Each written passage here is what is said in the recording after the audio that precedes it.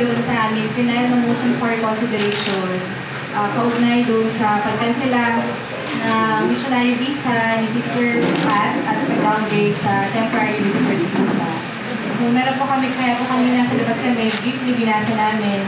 Um, na-reiterate lang naman po nila yung kanilang mga unang arguments na si sister po ay nag-engage sa political activity.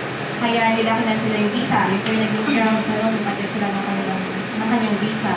At hindi krimen o hindi kasalanan ang maglingkod sa mga magsasaka, sa mga manggagawa, sa mga katutubo na napakatagal niya ang pinaglingkuran. Uh, as what Attorney Paule has mentioned earlier, we have just received the copy of this order.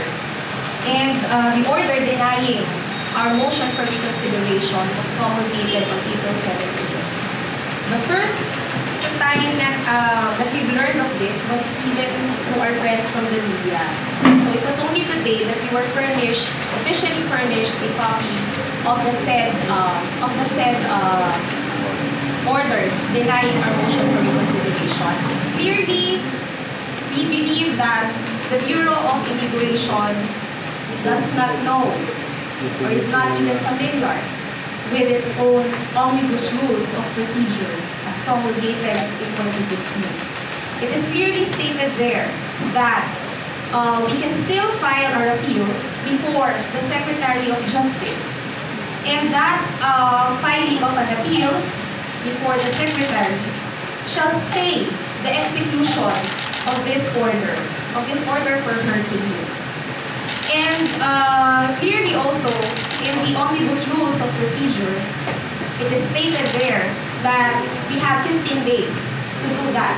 Upon the receipt of this order denying our motion for reconsideration. We will not allow persecution. We will not allow oppression,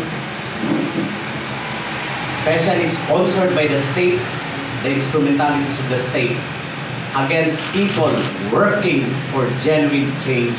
We will, we will be trooping to the Department of Justice to accompany her and the lawyers in filing the appeal.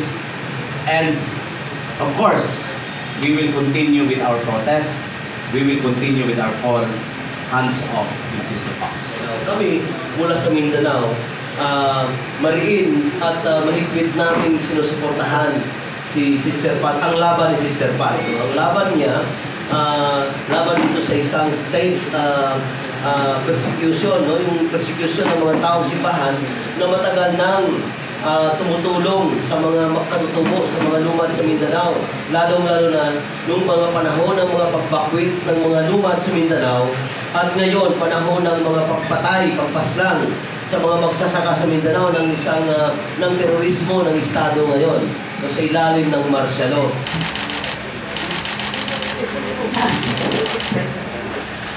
Desmayado ako nakarating sa balida. Siyempre, I was preparing for the for the best. Tapos, wala na notice. Kung sana sa ganyan, bigla sa media. Katulad when they said the first um, report, through the media, we never get notice of what's happening. Only Was ganyan sa proseso. Kasi I was expecting just, I was hoping for justice. And the churches, not just the Catholic Church, but the United Church of Christ, the evangelicals, lots of churches have also been supporting me and saying that is not, a missionary has to defend the dignity of people. And that sometimes, or you, if, if their dignity is being challenged through unjust, an unjust system, you have to be there with the people while they're trying to gain justice. And that's what I've been trying to do. And I've always been quiet about it, so it's, but faithful to it because I believe that's where church people should be, with the people who are struggling for their rights.